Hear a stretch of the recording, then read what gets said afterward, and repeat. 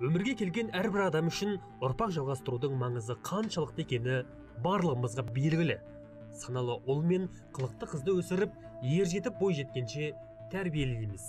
Дені сау білімді саналы болса ғой деген тілегіміз бар. Алайда осының барлығы ойдағыдай болу үшін неге өзімізден бастамасқа? Саналы ұрпақты көбейткің келсе саналы дүниеге қадам басқаныңыз абзал.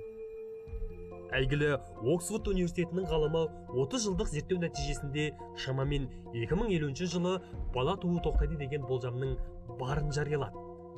Бұл жаңалықты жай ғана болжам деп тақырыпты ауыстыра салуға болады.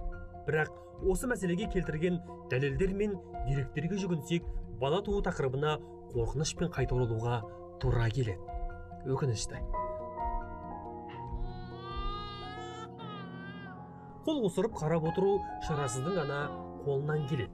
Мұны алдын алу үшін мына ескертулерге аса назар аударған жөн. Қазірге дейін адамзаттың көбеюіне тежейтін күнделікті өмірде қолданатын мың түрлі зат бар екен. Әсіресе олардың ішінде біздің түбімізге жететін мына бес дүние. Жанбайтын отқа төзімді пластиктер және бөтелке жасауда қолданатын фталаттар мен бисфенолдар сонымен қатар көп қолданатын перфторлар. Мына тізімге қарасақ барлығымыз ас бөлмеде қолданатын қарапайым дүниелер. Демек сүйсініп жеп жүрген тәттілерді қалай және қайда әзірлеу керектігін нақтылап алғанымыз жөн. Өйткені дәмді тоқашты уайымсыз жеп жүргенде болашағыңыздың қараңғылыққа бара жатқанын білмейміз ау. Газдалған тәтті сусындарды ішуге болмайды деген ескертулерді естіп жатамыз. Ал сол сусынның сыртқы қорапшасы қаншалықты қауіпті екенін ешкім бізге айтпаған екен.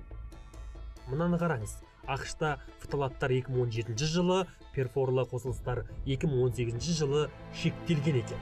Бұл екі түрлі затта бізде шектелген жоқ. Бәрі білімнің таяздығы. Сондықтан өз денсаулығымыз үшін өз ұрпағымыз үшін өзімізден бастаған жөн.